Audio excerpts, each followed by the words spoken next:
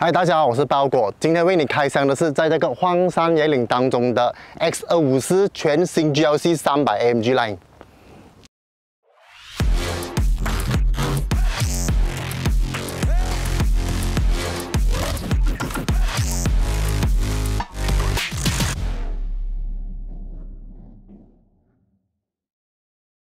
自从二零一五年开始，Mercedes-Benz 推出 GLC 之后，到今天呢，可以说是整个大品牌都是靠这一台车在撑着的。因为这台车确实是 Mercedes-Benz 里面最好卖的车。那全新的二零二三年 GLC，第一眼看它就长着一副很凶狠的脸，而且它有配有最新的头的 Digital Light 和一个超级大长灰的 Front Grille。当然，原厂来有这个大 logo 和小 logo，还有就是大 logo 旁边的。很多很多的小 Mercedes logo，原厂也很清楚知道你买这台车很大的原因，因为它就是 Mercedes-Benz。重点介绍这一个 Digital Light 头灯，其实是跟它大哥 S580 同样的科技。除了蓝色线条点缀之外呢，这一个头灯还非常高科技哦。前后配二十寸的轮圈，呃，轮胎方面呢，前面用的是二五五四十五的尺寸，呃，后面呢用的是二八五四十的尺寸。还搭配的是 Mercedes-Benz 的 Sport Caliber。车身尺寸方面呢，其实它比上一代稍微大了一点点。然后它还有一个 redesign 的 side step 和 side camera。那这 side camera 代表的就是这台车其实它配有三六零 camera。车尾方面它就有类似 GLA 的全新家族脸，3D LED 灯是一个卖点。可是当你近看的时候，其实它的尾灯里面也是布有很多的小 logo。从正面看，其实整个车尾就很圆润，再搭配双出排气管的设计，GLC 三百代表的就是二公升的高配引擎，4MATIC 它就是全驱的系统。来看看尾箱的容量，当然电动尾门也少不了。打开之后呢，这里是一个六百二十 L 的行李箱，当然这台车。你如果一家大小出门呢，三到四个大行李其实是没有问题的。然后这台车呢，它是没有配备备胎，不过它是有一套 tire repair kit，以防你有紧急情况的时候，你还可以使用。动力方面采用的是两公升涡轮增压引擎，搭配四十八 V 的猫 Hybrid，最大输出马力是两百五十八，跟上一代一样。不过呢，扭矩就提升了三十，到现在的四百牛米的。变速箱方面则是沿用着上一代一样的九速自排。至于开起来是什么感觉呢？稍后我们就试一试。内装方面，其实它跟全新的 C 卡几乎是一模一样的。稍微提升的梯形中控台，然后在我面前的是一个十二点三寸的仪表，是电子仪表哦。然后中间的呢，就是十一点九寸的 Touchscreen Player。那因为它是 AMG Line，所以它里面的设计呢也比较偏向运动风，而且还配有这一个非常有运动风的方向盘。然后这一个非常有运动风的方向盘呢，还搭配了 Pedal Shifter。方向盘、车门的顶部还有 Dashboard 的这个部分呢，它是用皮革来做 finishing 的。招牌的 Burmester 十五个扬声器的 Surround System 和六十四种颜色的 Ambient Light，当然也少不了。当你晚上的时候载着你女朋友出门的时候呢，里面看起来也特别浪漫。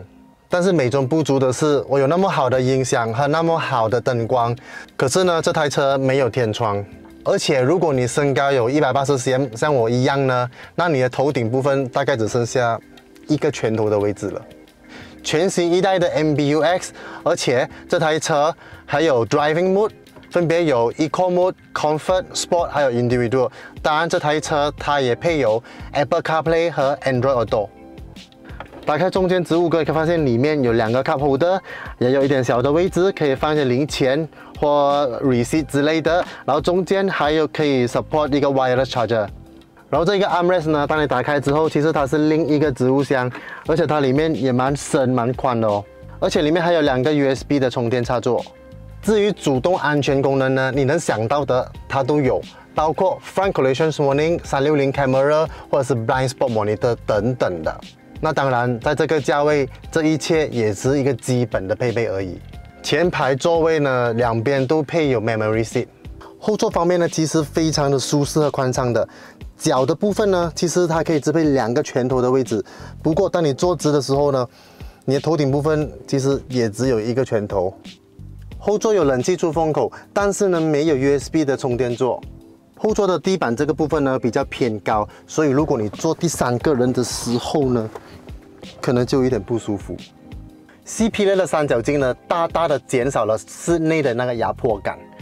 那介绍了那么多之后呢，这台车的动力到底怎样呢？我们现在去试驾吧。那这台车呢，它其实它有三个 mode，就是呃 Eco、Comfort 和 Sport mode。那首先我们先试这一个 Comfort mode 吧，因为你开这台车的话，其实一般上它只是一个家庭车，高级家庭车吧。所以你不需要就是每一次都跑很快的感觉。那在一般的路上呢，其实它蛮平顺的。就算那条路其实没有很没有很平整，你也没有什么感觉到它的那个顿挫感。那我要试一下在弯路，我就不放 brake 的话，感觉会怎样？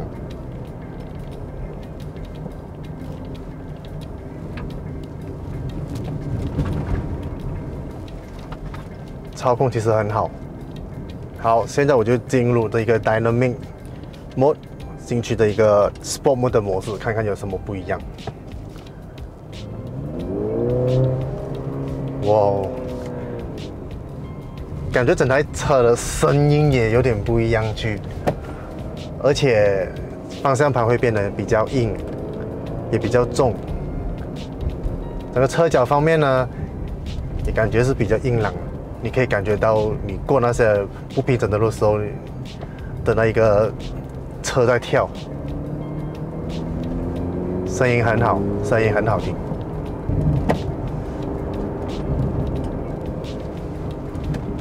我在不跑不踏 brake 不减速的情况之下来进弯，其实这台车的操控真的很好。整台车的 body roll 是去到 minimum，我可以感觉就是当你很高速进弯的时候，你人其实也不会侧去一边。这台车我最喜欢的是这个中控，因为什么原因呢？我在调整或者我在按我在使用的时候，我手不需要伸直，我就可以触碰到。那一般上的车呢的那一个屏幕都会在这一个方向，所以我每一次我需要去。啊，使用那个 touch screen 的时候呢，我都必须要把我手伸直后才可以碰碰触到。哦，这其实这个是我蛮喜欢的一个地方。而且坐在这一台 GLC 里面，感觉就好像在开着一台跑车，一台超级跑车。一整个 dashboard 的感觉就很很时尚，很很前卫。很多人都不知道四十八 V 猫 Hybrid 其实是什么东西，很多人都以为它是一个省油的科技，其实它不是。其实四十八 V 的这一个科技呢，它是在填补着你动力不足的那一个空间。就打个比如，如果我的动力是在两千转速开始的话呢，那我就可以你给你填补你在一千到两千之间的那一个相差。而且还有另外一个呢，就是给你在最高速的时候，如果说你的 Power Band 是去到四千的话，那我就给你四千到五千的那一个不足。那这一个科技呢，你就会可以感觉到你在低转或高转的时候呢，你的动力都非常的饱满。其实之后呢，Mercedes-Benz 的每一款车型都会沿用这一个科技，就是这一个 Mild Hybrid 的科技。这台 Formatic 系统呢，它是非常的全自动化的，帮你调整你整台车的前后重量分布，所以感觉在你开这辆车的时候，你就会信心十足。在市区驾驶方面，其实我觉得，我觉得这个方向盘呢，有一点偏硬的。就算我是在 Comfort Mode 也好，然后椅座也有一点点的小硬，可能这是 AMG Line 的关系吧。不过它的优点是它的隔音确实是非常好，NVH 也是非常棒。好，来到 Highway 了，来试一试它的 Sport Mode 的性能表现吧。就看它指路的加速的感觉如何。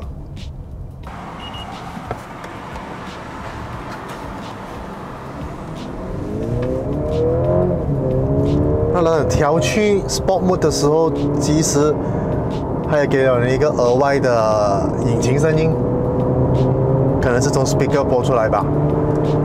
不过整体上整台车的感觉也完全不一样了。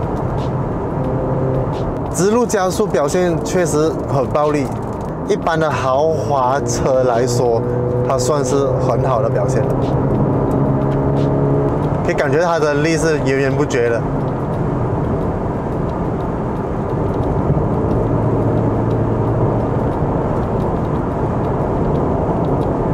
高速进弯的时候表现也非常的稳，正因为它的 Formatic 的缘故，它可以帮你平衡的保持重量。对于一辆车身高的车来说，这台车其实它的 Body Roll 算是很少很少了。其实动力表现来说，刚才我已经呃把速度开得蛮快了，然后我可以感觉到就是与同级对手来比较的话。它完全不会输，它真的很快。当你把它切换到 Sport Mode 的时候，这台车根本就是另一个人。而这台车的对手，直接对手的话呢，我们有 XC60 的 T8，或者是呃 X3 的 30i LCI。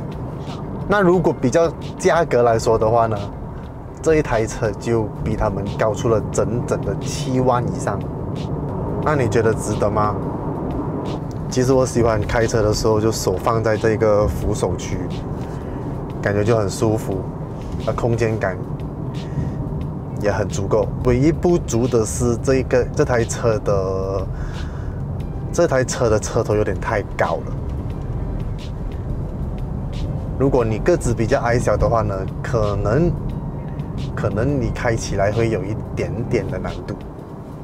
那总体来说呢，这台车的表现，无论是操控、轮胎抓地力，或者是呃性能的反应表现，所有的的确是令我很惊喜，我觉得很好。